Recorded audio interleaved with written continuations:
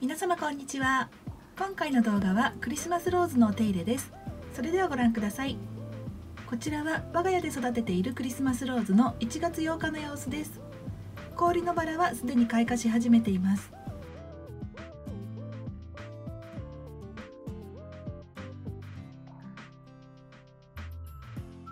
プチドールのしおりです。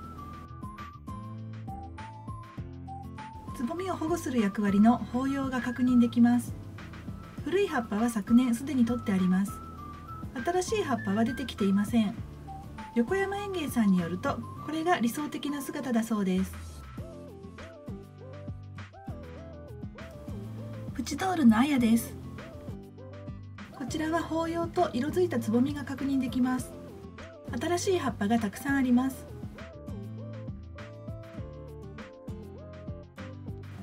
こちらは買った時にはお手頃価格の小さい苗だったので昨シーズンはまだ咲かなかった株です。紅葉が確認できるので今シーズンはお花を見ることができそうです。こちらも新しい葉っぱがあります。新しい葉っぱを取りました。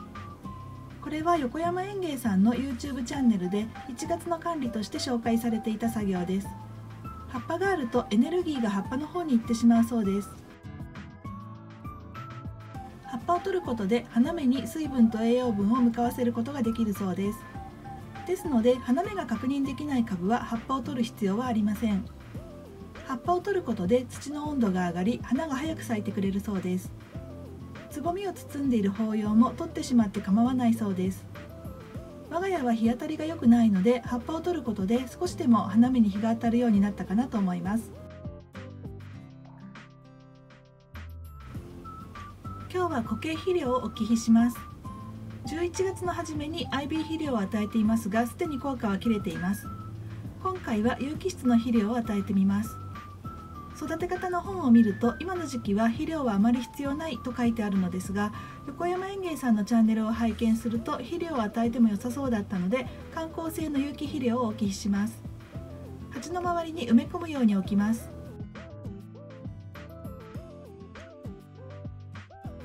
全ての鉢に同様に肥料を与えました。こちらの株はどんな花が咲くかわからない状態の小さい苗を買ったのでちょっとしたギャンブル気分です。手持ちの株とダブらない色の花が咲いてくれたらとても嬉しいです。